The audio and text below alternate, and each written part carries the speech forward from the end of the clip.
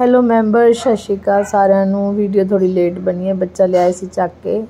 ਕੀੜੇ ਪਏ ਹੋਏ ਸੀਗੇ ਔਰ ਦਸੰਬਰ ਚੋਂ ਵੀ ਨਿਕਲਿਆ ਹੋਇਆ, ਮਗਰ ਬੱਚਾ ਹੁਣ ਠੀਕ ਹੈ। ਜ਼ਖਮ ਵੀ ਠੀਕ ਹੈ ਹੁਣ। ਹਨਾ, ਇਹਨੂੰ ਚੱਕ ਕੇ ਲਿਆਏ ਸੀਗੇ। ਕੀੜੇ ਬਹੁਤ ਸੀ ਇਹਦੇ। ਇਹ ਲੇਡੀਜ਼ ਹੈ ਜੋ, ਇਹ ਵੀ ਡੌਗ ਲਵਰ ਹੈ। ਇਹ ਕੀੜੇ ਕੱਢ ਰਹੀ ਸੀਗੀ, ਮਗਰ ਇਹਨੇ ਨੂੰ ਆਪਣੀ ਐਂਬੂਲੈਂਸ ਪਹੁੰਚ ਗਈ ਔਰ ਚੱਕ ਲਿਆ ਇਹਨੂੰ ਡ੍ਰਿਪ ਵਗੈਰਾ ਲਗਾਈ। ਹੁਣੇ ਠੀਕ ਹੈ ਖਾਣਾ ਵਾਣਾ ਖਾ ਰਿਹਾ ਔਰ ਇਹਦੇ ਜ਼ਖਮ ਵੀ ਠੀਕ ਹੈ।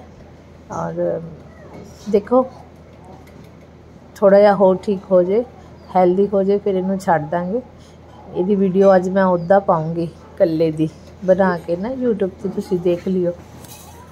ਹੈਨਾ? ਇਹ ਬੱਚੇ ਨੂੰ ਲੈ ਆਏ ਆਪਾਂ ਐਂਬੂਲੈਂਸ ਦੇ ਵਿੱਚ ਆਪਣੇ ਸ਼ੈਲਟਰ 'ਚ ਇਲਾਜ ਚੱਲ ਰਿਹਾ ਹੈ ਇਹਦਾ।